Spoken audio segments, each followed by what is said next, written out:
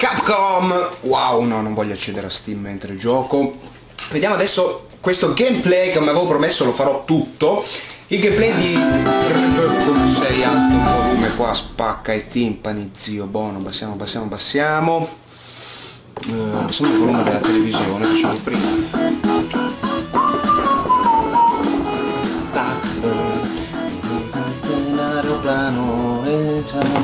passiamo del tutto, tanto poi lo sentite lo stesso. E niente, niente, dicevamo, facciamo il remake, il remake, facciamo il gameplay di DuckTales Remastered. Eh, andremo a vedere le differenze tra il gioco originale e il gioco tarocco.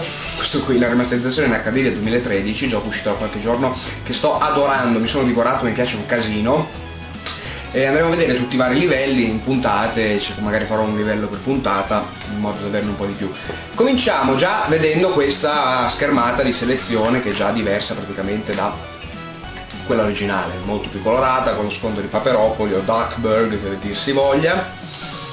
E niente, cominciamo una nuova partita, facciamo normale, ma no, facciamo difficile, facciamo gli sboroni.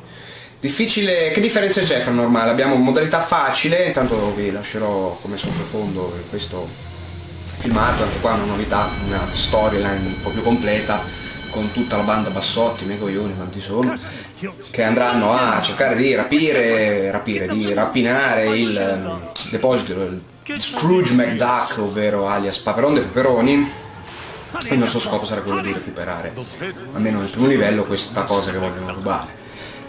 Eh, come dicevo appunto questa storyline eh, ve la lascio godere, intanto guardate i filmati, i filmati li lascerò anche se non sono lunghissimi comunque potete seguire intanto che ascoltate la mia noiosissima voce se non rimango accecato da sta luce che ho qui. E eh, niente, stavo dicendo la modalità facile che più che modalità facile avrebbe dovuto chiamarsi modalità ridicola perché è veramente ridicola. Eh, poco di... ma no, così.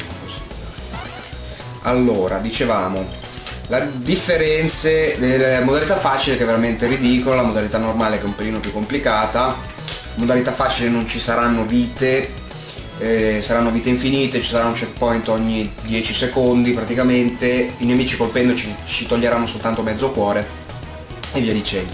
Modalità normale rimane un po' più complicata, ci saranno le vite, se si fa game over bisogna ricominciare il livello da capo.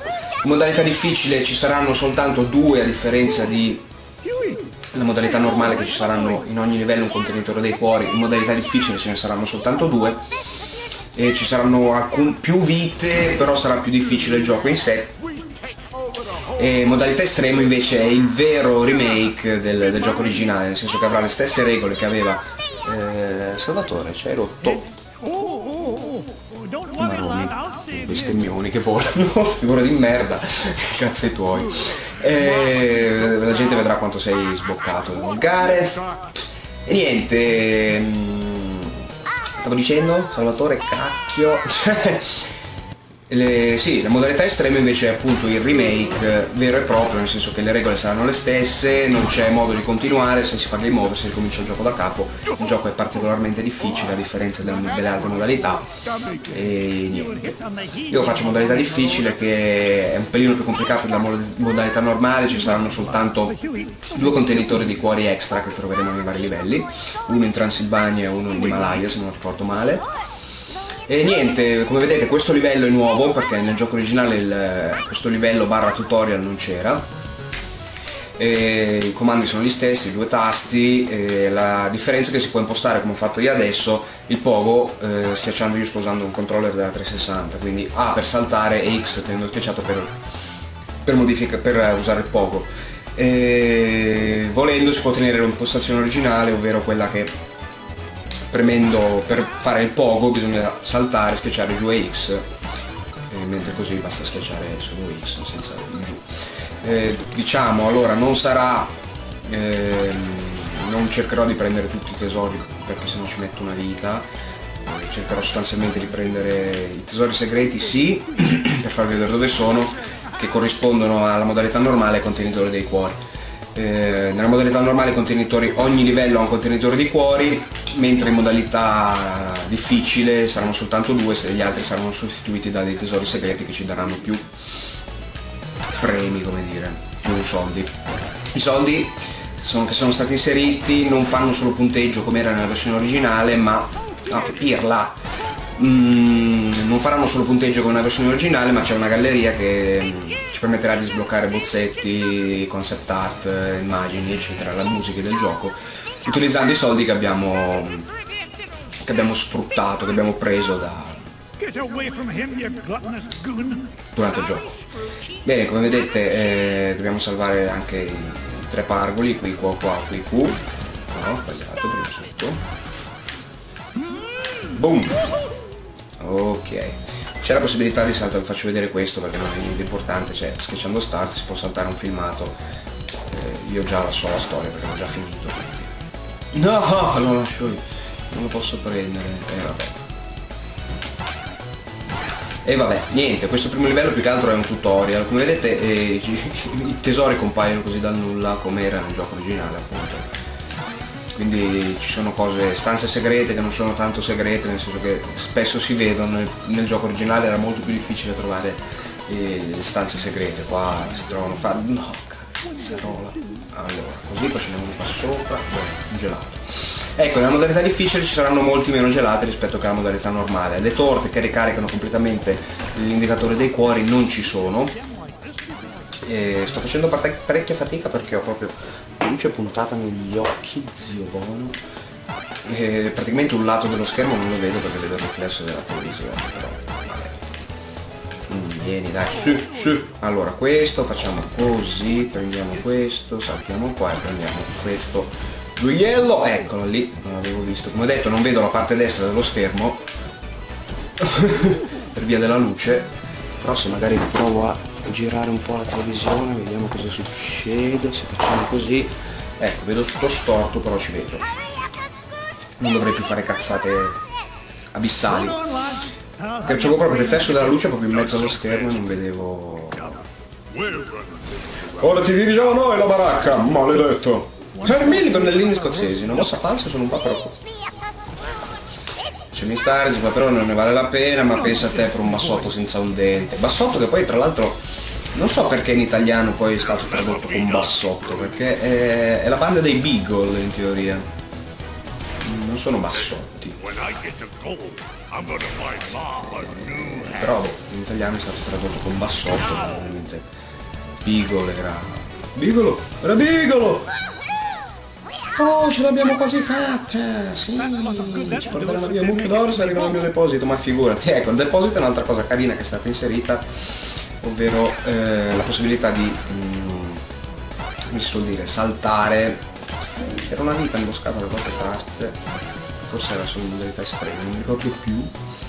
E, dicevo la possibilità di tuffarsi a bomba nel, nel deposito. Adesso vediamo se riesco a battere il boss con un cuore solo non è complicato il primo boss, però cioè, un colpo è facile prenderlo, diciamo. Questo è il primo boss, come dicevo questo livello non esisteva nel... come si chiama? nel gioco originale. non esisteva, è stato inserito appunto in questo remake, qua abbiamo Archie. Eh, non è complicatissimo, bisogna solo stare attenti, ecco esatto, eh, aspettare che si piazza sopra. Esatto i boss hanno una bella interazione ambientale che non c'era nel gioco originale, quindi anche i boss che combatteremo durante il gioco sono molto diversi da, anche se sono gli stessi, sono molto diversi da, da quelli originali. Nel senso che avranno delle interazioni ambientali, avranno una grava... Uh, uh, aiuto, ho rischiato tantissimo. Allora, alto, basso, basso. Dai. Ce l'ho fatta senza, senza morire. Ho rischiato tantissimo. Bene, questo è il primo livello. Direi che possiamo finire qua questo video, finendo questo punto livello. Farò vedere due cosine prima di chiudere. Spero che vi sia piaciuto e ogni lunedì adesso avremo una puntata, una nuova puntata. Per eh, se faccio un livello al giorno sono 5-6, ce ne abbiamo per qualche quindi lunedì avremo puntata, una puntata di DuckTales, cioè una per ogni livello. È sicuro, ma scusate, come appunto dicevo la trama, adesso Zio Paperone ha scoperto che in quel quadro c'era un codice segreto, inserendo questo codice un supercomputer viene a scoprire che eh, nascosto in vari punti del mondo, appunto l'Himalaya, le miniere africane, il Transilvania, eccetera, ci sono dei tesori particolari, uno addirittura sulla Luna. Ci sono dei tesori particolari, lui ovviamente avido, ricco, eh, eh, desideroso di denaro come più di ogni altra cosa, decide di apprendere andare a partire per questo viaggio e recuperare tutti i vari tesori. Eh, poi la trama si evolverà leggermente, ma non vi spoilerò nulla, vi lascerò godervi man mano che, che vedremo il gioco. Scusate questa ambientazione un po' buia, ma non ho altro modo per fare un po' più di luce, perché questo non lo posso dare in faccia, così non ci vedo più una mazza. Vabbè, infatti avrò un, mezza faccia dovrei mettermi l'altra luce di qua così poi non ci vedrei più del tutto. Secondo il manuale della giovane marmotta dobbiamo fare circa 500 euro, quindi vuol dire che deve raggiungere sulla luna. C'è un tesoro, ovvero il formaggio verde che è nascosto sulla luna. E niente, questo è il primo livello, come vedete si sbloccano a questo punto 5 livelli, potremo scegliere noi quale fare. In ogni livello appunto è nascosto un tesoro, abbiamo Amazzonia, Transilvania, Miniere Africani, Himalaya e la Luna.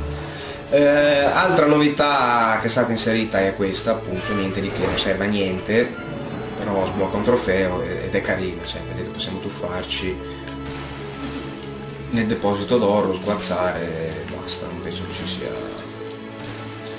cose particolari. E niente, questa è le, una delle grosse novità che sono state introdotte in questa remasterizzazione.